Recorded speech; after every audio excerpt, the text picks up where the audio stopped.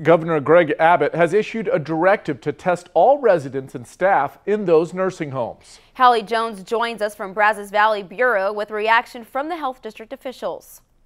In The Brazos Valley nursing homes like the Waterford at College Station have had multiple residents and staff test positive for COVID-19.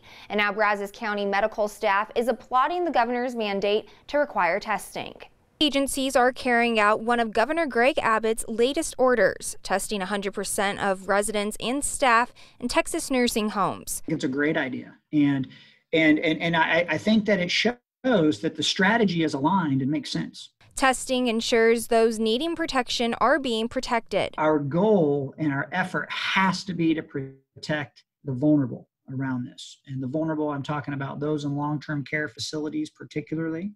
Congressman Bill Flores is saying, I support Governor Abbott's efforts to consult with public health experts, including those with the White House Coronavirus Task Force.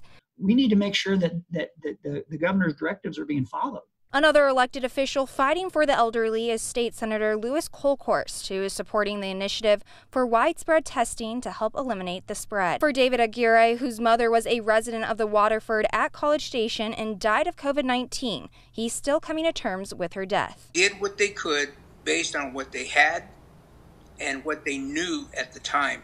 As more cases are confirmed, health officials stress that protecting the vulnerable is top priority. Dr. Sullivan speaks with Brazos Valley nursing home administrators twice a week to review testing and supplies as the county works to protect the vulnerable. Reporting from the Brazos Valley Bureau, Hallie Jones, 25 News.